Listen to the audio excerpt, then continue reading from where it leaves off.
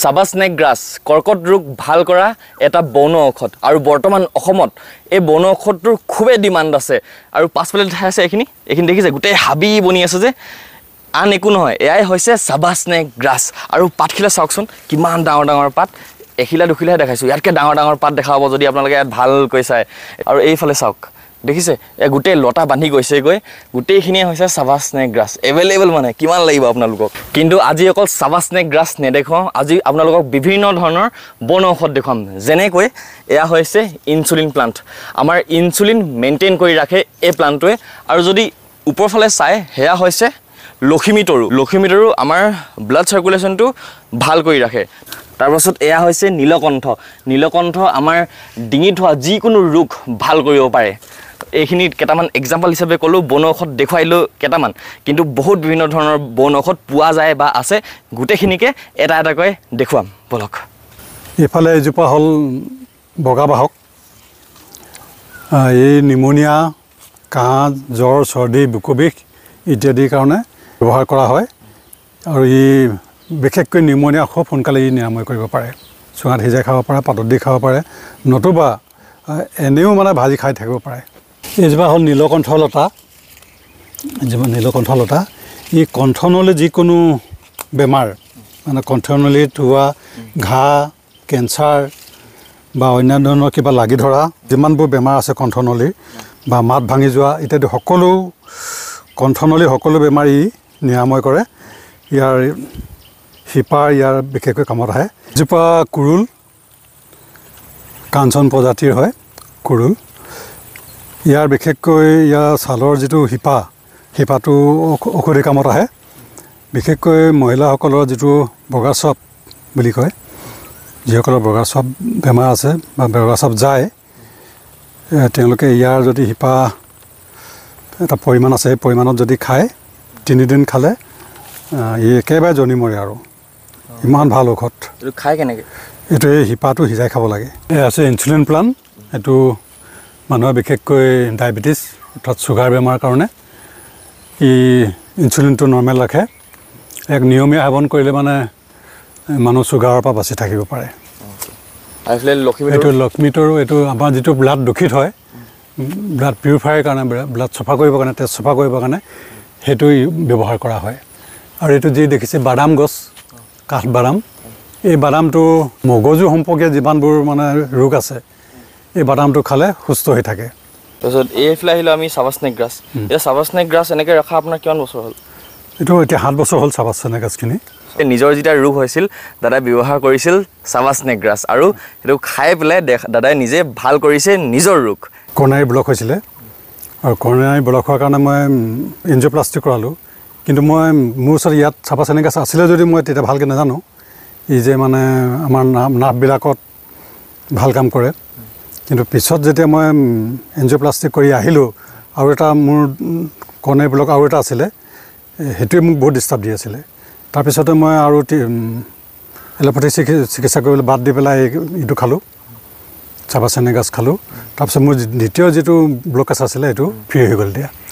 এতিয়া ডিষ্টাৰ্ব নাই মোৰ। ডিষ্টাৰ্ব নাই। অঁ। এতিয়া চাবা স্নেক গ্ৰাছ এপালিত মানে ধৰক কেনেকৈ খাব লাগে? এপালি মানে আমি ত্ৰিছটামান আগ দি দিওঁ বা পাত দি দিওঁ। আৰু সেইটো পিচি পেলাই তাৰ ৰসটো উলিয়াই খাব পাৰি। ৰাতিপুৱা একবাৰ গধূলি একবাৰ। আৰু নতুবাতো অলপ নিৰোগী মানুহে বা ৰোগ চোগ নথকা মানুহে চাহ নিচিনা বনাইও খাব পাৰে। বহুতে মোক মেছেজ দি আছিল ৰিকুৱেষ্ট কৰি আছিল চাবা স্নেক গ্ৰাছৰ ওপৰত ব্লগ এটা কৰিবলৈ ক'তনো পাম বুলি বিচাৰি পোৱা নাই বুলি। এতিয়া আপোনালোকক এনেকুৱা এখন নাৰ্চাৰীলৈ লৈ আহিছোঁ যোনখন নাৰ্চাৰীত অকল চাবা স্নেক গ্ৰাছৰে পুলি ৰখা হৈছে। ইয়াত দেখিছে আৰম্ভণিৰ পৰাই হাততো দেখা পালে এতিয়া এইফালৰ পৰাই মোৰ পৰা চাই দিয়ক। যিমান দেখা পাইছে ইয়াত পাঁচ হাজাৰতকৈ বেছি চাবা স্নেক গ্ৰাছৰ পুলি আছে অকল চাবা স্নেক গ্ৰাছৰ। প্লান প্লানখিনি দেখালোৱে য'ত অলৰেডি ডাঙৰ হৈ গ'ল সেইখিনি দেখুৱালৈ ইয়াত আপোনালোকে অকল পুলি লৈ ল'ব পাৰিব। এতিয়া আগৰ দিনত যেতিয়া ধৰি লওক একো ধৰণৰ মেডিচিন পোৱা নাছিল ফাৰ্মাচীৰ পৰা তেতিয়া সেইটো সময়ত মানুহে এনেকুৱা ধৰণৰ বন ঔষধিৰ পৰাই বহুতখিনি মেডিচিন বনাই পেলাই ব্যৱহাৰ কৰি পেলাই নিজৰ কটাৰ পৰা আদি কৰি নিজৰ ইণ্টাৰনেল কিবা যদি বেমাৰ হয় ভাল কৰা গৈছিলে। এই প্লাণ্টটো হৈছে অৰিজিনেলি মালয়েছিয়াৰ। মালয়েছিয়াৰ বেষ্ট এটা প্লাণ্ট হয় যোনটো এতিয়া ইণ্ডিয়াত বহুত বেছি দাম আছে। মেইনলি আমাৰ অসমত ৰিচেণ্টলি এজোপা কাঞ্চন। আৰু মানুহৰ শৰীৰৰ কাৰণে বৰ উপকাৰী। বিশেষকৈ আমাৰ টিউমাৰ যিকোনো টিউমাৰ ইয়াৰ শিপা সিজাই খাব লাগে নতুবা ছাল সিজাই খাব লাগে। আপুনি ক'লে যে টিউমাৰ ভাল কৰিব পাৰে। তেনেকৈ আমাৰ বিভিন্ন ধৰণৰ ঔষধে বিভিন্ন ধৰণৰ বেমাৰ ভাল কৰিব পাৰে। কেনেকৈ বিশ্বাস কৰিম যে এইটো বন ঔষধ খালে এইটো ভাল হ'ব? চাবা স্নেক গ্ৰাছ খালে যে সঁচাকৈ কেঞ্চাৰ ভাল হয়? এইটো মানে ধৰি লওক কেনেকৈ আপোনালোকে গম পাইছে বা কথাষাৰ সঁচা হয়নে? কেনেকুৱা হয় ধৰণৰ? আচলতে এইবোৰ আগতে পুৰণি দিনত যেতিয়া এলোপেথিক চিকিৎসাই নাছিলে তেতিয়াতো এই বনৌষধি চিকিৎসাই চলিছিলে। তেতিয়া ৰজা মহাৰজাসকলেও এই বনৌষধিৰ পৰাই মানে নিৰাময় পাইছিলে বা নিৰাময় হৈছিলে। আৰু সেই পৰম্পৰাটো এতিয়াও আছে। আৰু তেতিয়াৰ পৰাই যিবিলাক কবিৰাজী কৰা যিবিলাক মানুহ আছিলে তেওঁলোকে বহুত ধৰণৰ পৰীক্ষা নিৰীক্ষা কৰাৰ পিছত এই বনদৰৱবিলাক ব্যৱহাৰ কৰিছিলে। আৰু তেনেকৈ তেতিয়া চিকিৎসা পদ্ধতিটো চলিছিলে। আৰু সেইবিলাক পৰম্পৰাগতভাৱে আজিও চলি আছে। কেলৈ বনদৰৱত এটা এটাই ভাল আপোনাৰ এলোপেথিক চিকিৎসাত ছাইড এফেক্ট আছে। এটাৰ পৰা আন এটা বেমাৰ হ'ব পাৰে বা বেছি দুৰ্বল হৈ যাব পাৰে বা বেমাৰটো সম্পূৰ্ণ নিৰাময় নহ'ব পাৰে। কিন্তু বন বনদৰৱত যদি ভাল হয় একেবাৰে ভাল হ'ব আৰু। ছাইড এফেক্ট নাই। এতিয়া কেঞ্চাৰ যিবিলাক মানুহৰ ভাল হৈছে একেবাৰে ভাল হৈ গৈছে আৰু। এতিয়া ধৰক আপোনাৰ পৰা যে চাবা স্নেক গ্ৰাছ লৈ যায়। ধৰি লওক প্ৰমাণ পাইছে নাই? ধৰি লওক ভাল ৰিজাল্ট কাৰোবাৰ? অঁ ৰিজাল্টটো এতিয়ালৈকে ভালেমানকেইটা ভাল হৈছে মানুহ। ফৰ্থ ষ্টেজৰ ষ্টেজৰলৈকে থকা মানুহ এতিয়া ভাল হৈছে সুস্থ হৈ আহিছে। তেনেকুৱা কেইবাজনো এতিয়া আমাৰ লগত যোগাযোগ কৰিছে আৰু মেডিচিন খাই আছে দৰৱ খাই আছে চাবাচেনিকাছ খাই আছে। এয়া হৈছে পানী মধুৰি। ইংলিছত যদি মই কওঁ আছাম চেৰি বুলি কোৱা যায়। একদম সৰু সৰু মধুৰিৰ নিচিনা। কিন্তু ইয়াৰ শ্বেপটো এইদৰে দেখা পাইছেনে? সৰু সৰু গুটি গুটিৰ দৰে। দেখিবলৈ একজেক্টলি মধুৰিৰ নিচিনা। কিন্তু ইয়াৰ শ্বেপটো ইমানদৰে থাকিব ইয়াতকৈ ডাঙৰ নহয়। আৰু আগৰ দিনত যেতিয়া ধৰক কোনোবাই ক'ৰবালৈ গৈছে পানী পোৱা নাই খাবলৈ এই মধুৰিটো দি খাই পেলাই যোনটো পানী পিয়া লাগে সেইটো নাইকিয়া কৰি পেলাই। এইটো হ'ল মাধৈ মালতী। মালতী। এইটো অসমৰ হাবিৰ এটা ভাল ফল আছিলে এটা সময়ত মাধৈ মালতী। মাধৈ মালতী এই পকিলে খুব ধুনীয়া সুগন্ধি আছে ইয়াৰ।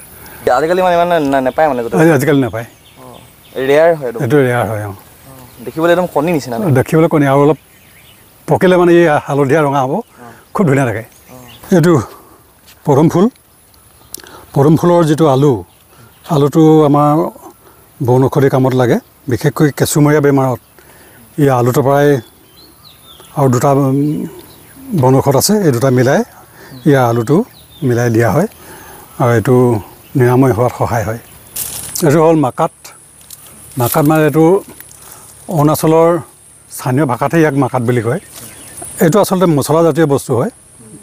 এই মাংস মাংসত দি খায়। আৰু ইয়াৰ ভাল গুণ আছে। ই পেটৰ যিকোনো অসুবিধা সমস্যাবিলাক ই দূৰ কৰে বা লিভাৰ কিবা প্ৰব্লেম আছে এই- এই গোটেই কামখিনি ই কৰি থাকে। আপোনালোকক যদি চাবা স্নেক গ্ৰাছ প্ৰয়োজন হৈছে মই কণ্টেক্ট নাম্বাৰ দি দিম খুৰাৰ আপোনালোকে কণ্টেক্ট কৰি পেলাই লৈ ল'ব পাৰিব। জয়দত্ত খুৰাকো বহুত বহুত ধন্যবাদ। আকৌ লগ পালোঁ আকৌ নতুন নতুন কথা শিকিব পালোঁ বহুত বিভিন্ন ধৰণৰ গছৰ গছৰ কথা জানিবলৈ পাৰিলোঁ। আৰু সমাপ্ত কৰি দিছোঁ এয়াই আছিল আজি মোৰ ব্লগ সদায় দৰে সুবিধা মানুহক সুখী থাকক স্মাইল কৰি দিয়ক পজিটিভ থাকক। মই সময় গৈ জয়দত্ত খুৰাৰ লগত চাইনিং অফ ধন্যবাদ।